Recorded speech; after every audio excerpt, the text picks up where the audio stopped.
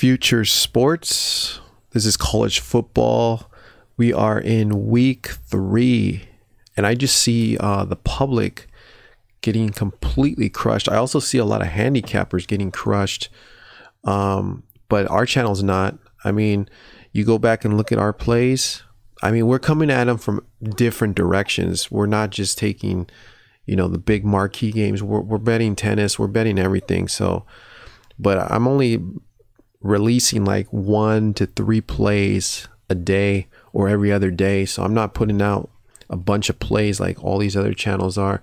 I saw like a, a few handicappers, three handicappers that are uh, very popular on YouTube go like one for 11 or something like that last couple weeks.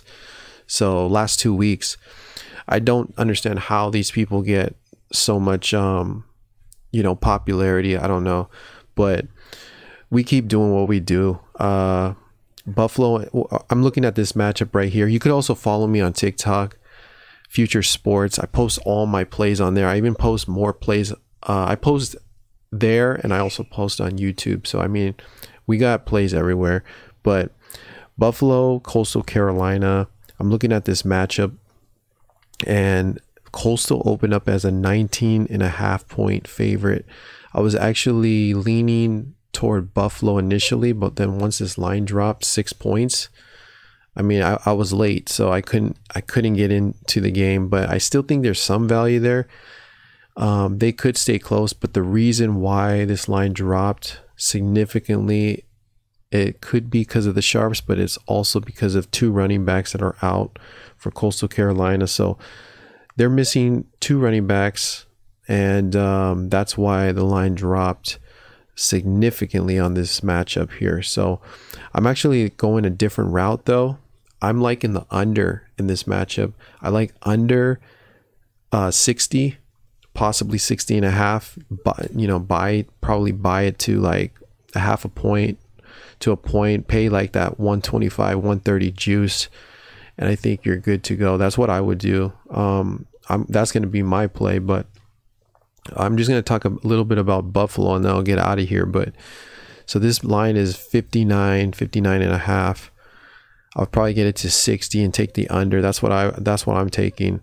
Um, have a slight lean toward Buffalo as well, but I would tread lightly on them because of the value loss that I just showed. So Buffalo last week they lost to Holy Cross, and I think they're a little bit upset about this loss even though they scored a lot of points, I think they don't want to do that against Coastal Carolina.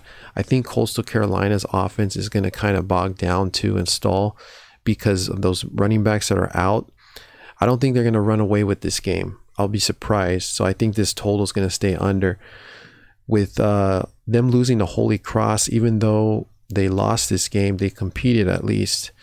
And, you know, they only lost by six points in this matchup as a six point favorite. So I think they're real upset about this game.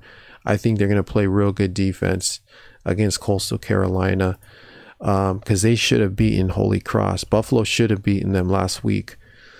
Uh, they were just lazy on defense. So I think they're going to be ready in this matchup.